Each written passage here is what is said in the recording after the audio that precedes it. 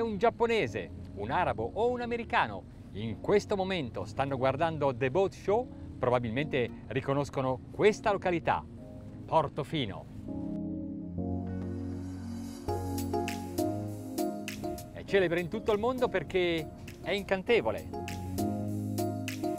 Notorietà e bellezza sono le stesse qualità di questa imbarcazione. È costruita da Chris Craft, uno dei cantieri più celebri e antichi del mondo. E questo modello è il Capri 21. Trovo che questo paesaggio e questo motoscafo stiano benissimo insieme. Si può essere orgogliosi di possedere un grande yacht, ma si deve andare fieri di possedere anche un piccolo Chris Craft, come questo, lungo 6 metri e 45 centimetri.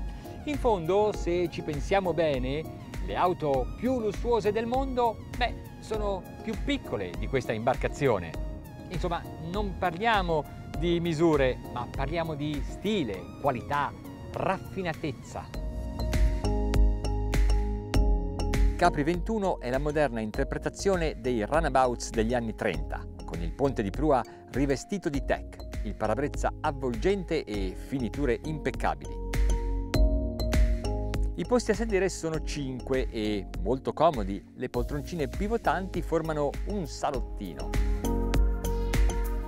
Il prendisole di poppa è dolcemente inclinato e le imbottiture rivestono ogni centimetro disponibile per questioni di comodità ed eleganza. Più lo si osserva e più si resta meravigliati dai dettagli. Il dritto di prua verticale ci dice che il progetto è però molto recente. La coperta esprime tutto il fascino di un tempo, ma la barca è realizzata con materiali e metodi di lavorazione moderni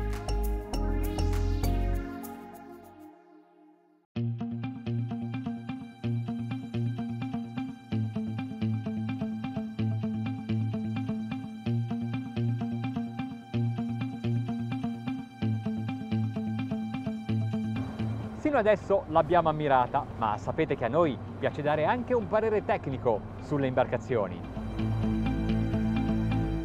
Dovete sapere che il cantiere fornisce moltissimi dati che altri costruttori non danno. Per esempio, ci avvertono che il baricentro di questo scafo è a 178 cm dallo specchio di poppa, più o meno in corrispondenza dello schienale del divano passeggeri. Ora, se danno queste informazioni, beh, vuol dire che non pensano soltanto a curare le finiture, non vi pare? Sapere dov'è il baricentro è fondamentale per la sistemazione dei pesi, ma persino per le operazioni di varo e alaggio.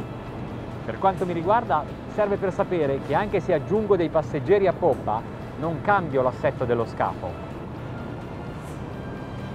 E infatti non hanno installato i flap. Qui si regola l'angolo di incidenza solo col trim del piede poppiero. A proposito di motorizzazione, abbiamo un motore Mercury da 300 cavalli, un 6200 cm3, ma se volete potete esagerare e andare anche fino a 350 cavalli, con Mercury o con Volvo Penta. L'ho portata in planata e non mi sono accorto di alcuna variazione di assetto. La prora non accabrata, continuo a guidare comodamente seduto, come se fossi rilassato a guardare la televisione sul divano. Ah, ma mi sto godendo la giornata, il sole, il mare e questa barca. È meraviglia! Prima di dare manetta, ancora una preziosa informazione. Questa imbarcazione è garantita, scafo e strutture per 5 anni. Lo so, bisognerebbe essere sul lago di Lugano e invece siamo nel Golfo del Tiguglio e per giunta c'è anche un po' di onda. Ma se va bene qui, state tranquilli che andrà bene su qualsiasi acqua interna. Decidiamo di farci portare dalle onde. Sì, le cavalchiamo in questa maniera, le prendiamo dritto per dritto con la prua. Trim tutto basso, un po' di gas e vediamo che succede. Il dritto di prova verticale ci aiuta perché dà qualche centimetro di lunghezza in più allo scafo e ci permette anche su un'imbarcazione così piccola di avere un buon controllo del beccheggio. Attenzione perché le onde qui sono piuttosto alte, perlomeno per questo tipo di barca, circa 50-70 centimetri.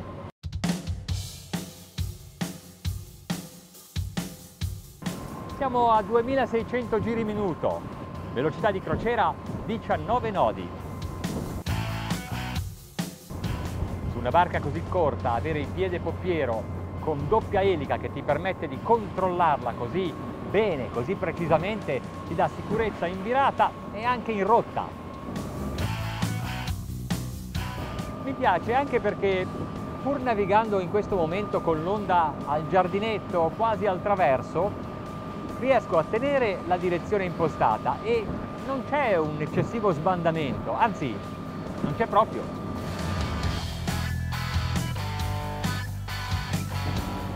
Oh, ma non ci credo!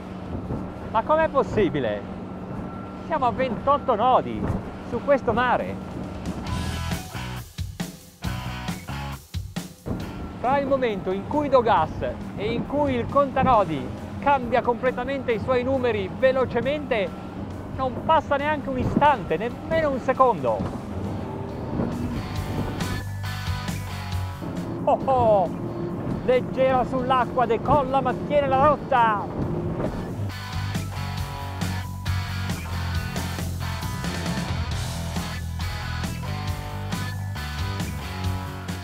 Cosa abbiamo fatto? Eh beh, eh, Ve lo faccio vedere perché è roba da non credere. 43 nodi e 8. Non male, vero?